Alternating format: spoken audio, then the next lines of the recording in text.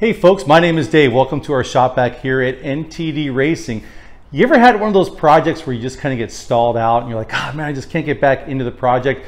And you always need just one of those pick me up days where something happens and you see the finished product. it's kind of further away, but you still see what it could be and it just gets you energized and back into it. That is what this day is all about. But before we get to that, let me ask you to hit that like and subscribe button, ring in the bell for notification future episodes, leave a comment. That always helps us out. But what I'm going to show you today is how I'm going to take all of the parts that we've got. We got we took apart that old truck. We just got the body from Fiberwerx.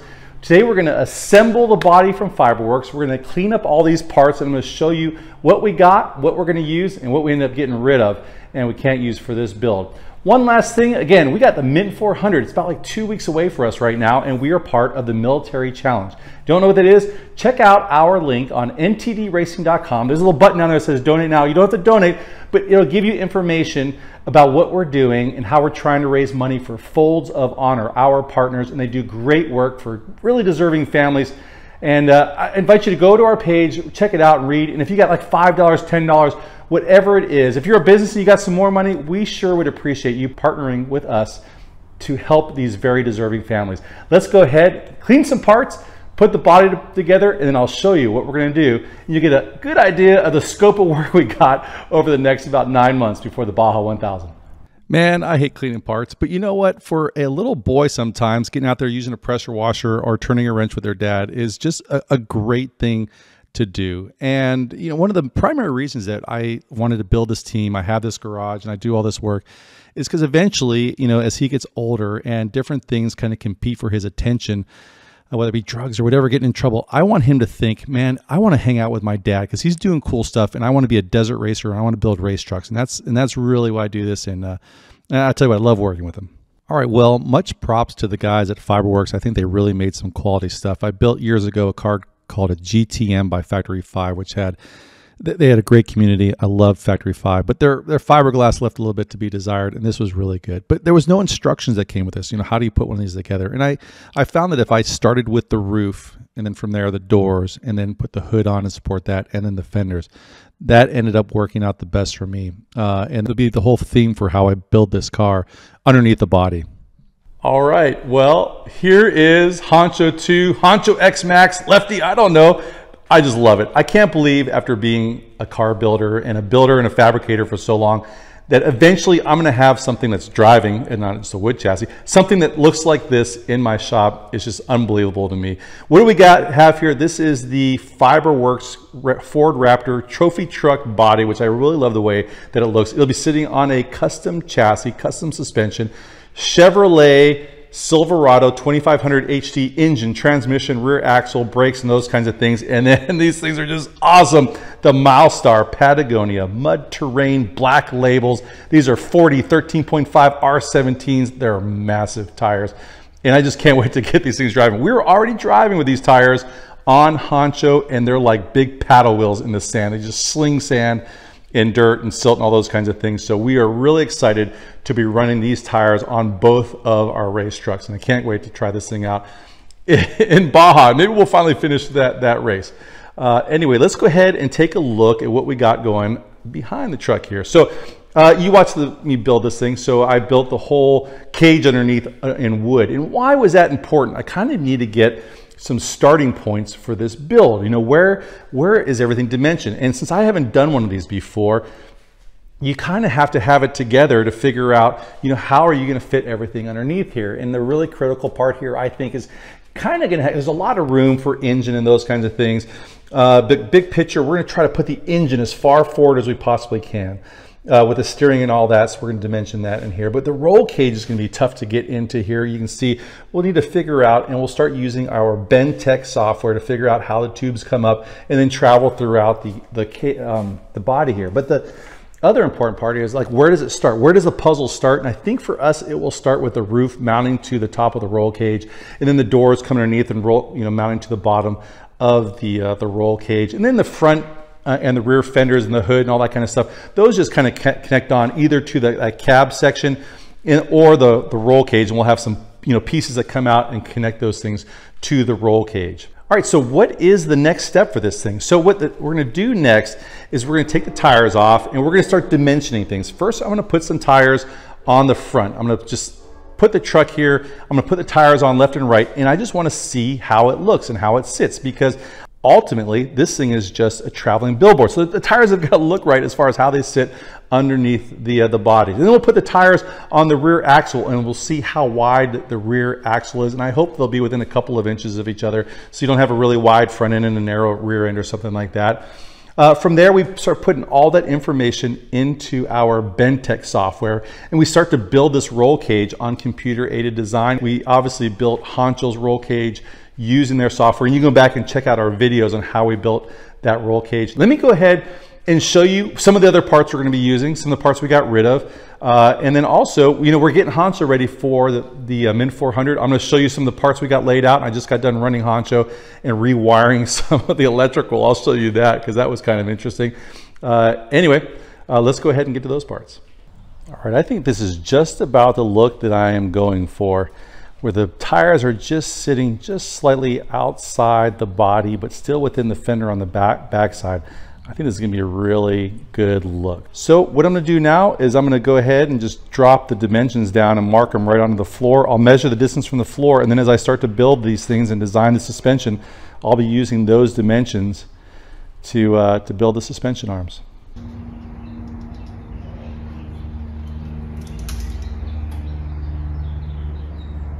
The distance between the two front tires, 91 inches. That will be how wide it's going to be. About 8 inches more than Honcho. We have to get a wider trailer or at least make the fenders drive over on our trailer. Let's compare that to our rear axle with tires on it. And this gives you a really good look of just how big those Patagonia 40 13.5 R17 Patagonia mud terrain black label tires are. They are just beefy. So what we're doing on this axle, this is a 14 bolt axle. Right now it's just got an open differential inside there. We'll be replacing that with a spool and 538 gears.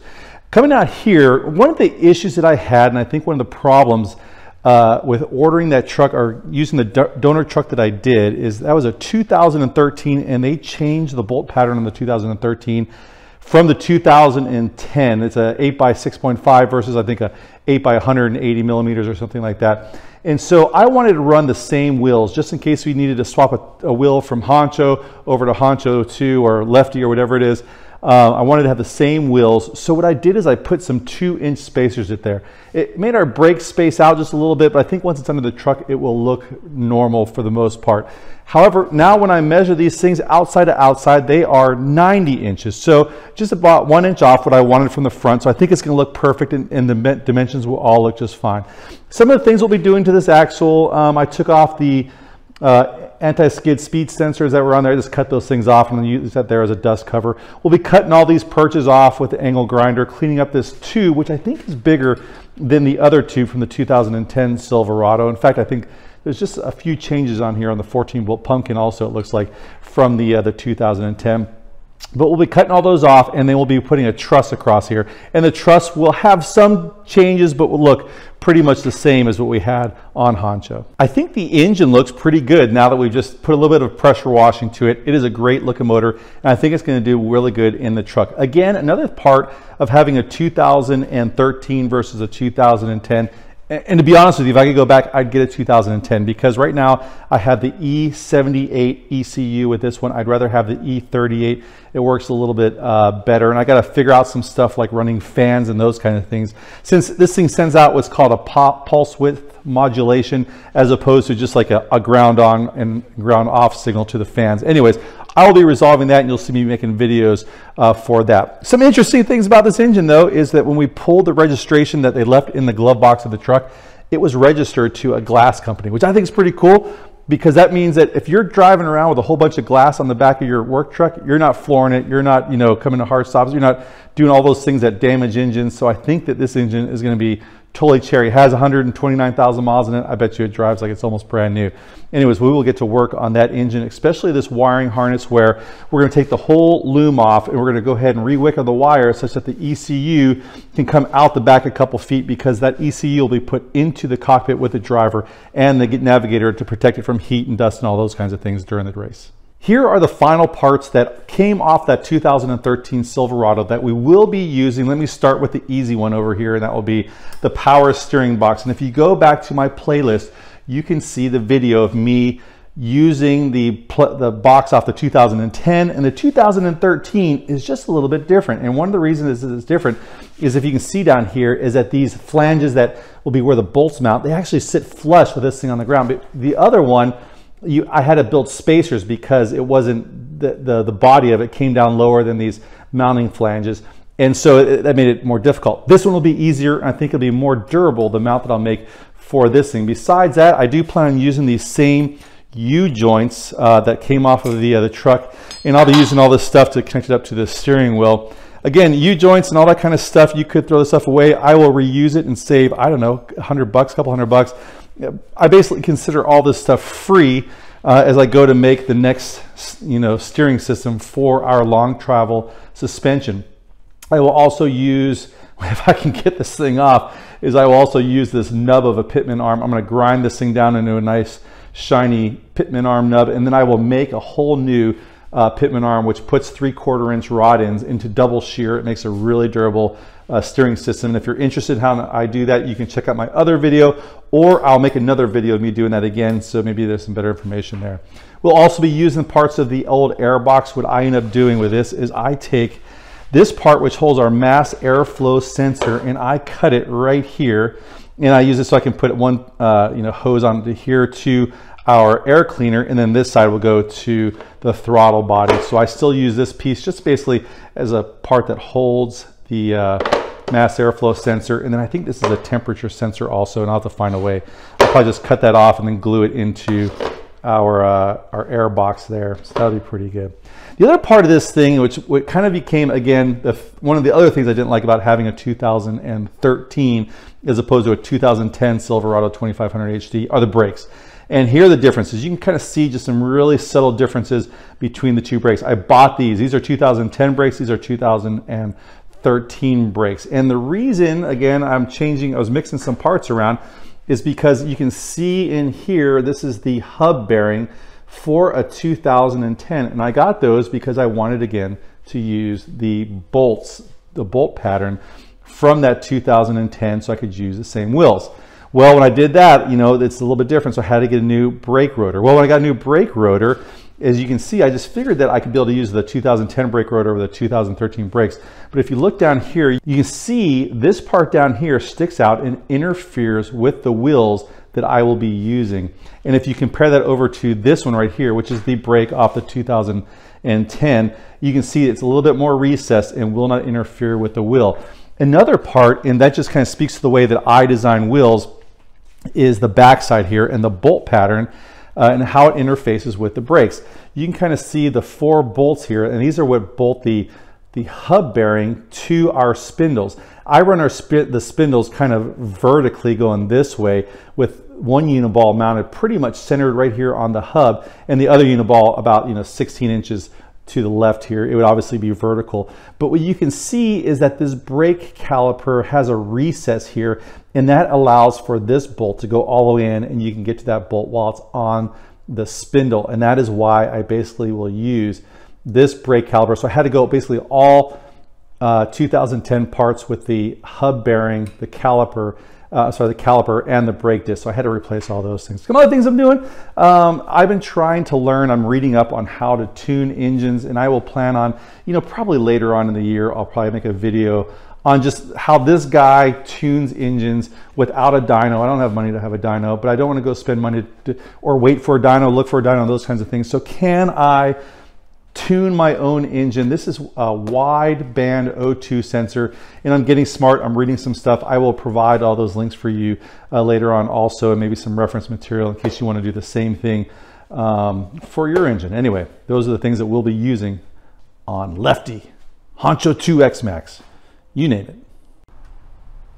Like I said, Honcho is also getting ready for the Mint 400 about two weeks away. You can see the Patagonia mud trains on these also. These are 37s versus the 40s over there for Lefty. Everything is looking really good. In fact, there wasn't much left to do after the Baja 1000. It was still a pretty good truck. A couple modifications. One of the funny ones is let's go ahead and I'll show you what I was doing on the electrical for the power, uh, for the uh, electric fans in the back. So looking back here at the wiring of the fans, you can see what happened when the truck sat idling for hours with the fans going, it melted both of the fuses down completely. So much so I couldn't get the fuse parts out of there. So what I did is I just rewired to all of the relays and then I took these 10 gauge wires with some 40 amp fuses going out here. I Now I know 40 amp fuses is a lot for these fans and it might burn them down, but you know what? You might burn down a fan or whatever in racing. Um, it shouldn't cause a fire back here or something like that. But uh, there you go. There's hopefully the fix, and you can see my heat shrink. It was too small, I and I couldn't fit it over here. So I gotta get some electrical tape. The electrical tape job of shame there because I couldn't make my heat shrink work, but uh, the junction should work just fine. So Honcho is pretty much buttoned up. I need to do a little bit of wiring on the front lights, and besides that, I'm just kind of organizing some of the tools, and we've gotten pretty good at uh, bringing just the right amount of tools and not bringing too much. We've kind of cut down some toolkits and all that. But this is what fits all inside of this cooler. One thing we're trying to get better at, and I will show you some reviews of stuff that we will be using. Some things we don't have here yet, I think are some pretty exciting alternatives to bringing a winch inside the truck. But we do have a snatch rope here to get the thing out. Uh, these are some blocks that turn the uh, wheels into some paddles. We'll test those things out. I don't want to recommend anything until I, I test it. My buddy Bear is about to make a video on how to make these things. They were totally key for getting Honcho out when we were in the Baja 1000, but be more on that later. Over here, some other cool stuff. This is Mr. Spreckles. Literally one of my favorite videos to uh, to make. If you haven't seen that, check out the video in our playlist of Mr. Spreckles, the rail car that we made. I swear I'm still a 10 year old. All right, well, as you can see, this is a pretty exciting part in this whole build where we start to get all the parts, and then now we get to put them together. So that's what you can expect in the next couple videos. I got two things happening at the same time. I need to start designing that roll cage with the Bendtech software. And we also needed to get into the Fusion 360, get the Crossfire XR to work and start making the suspension parts. A lot of great content coming up. I hope you will decide to join us for that. Please consider hitting like and subscribe below, ringing the bell for notification of future episodes, and leaving a comment. All those things definitely help us out and we do appreciate it. Once again, military challenge coming up. Check us out on ntdracing.com com. Hit the donate now button and you can read about it, see if you like it. I hope that you will choose to join our team in Operation Honcho and help out some really deserving families. We'll see you next week. Take care of yourself.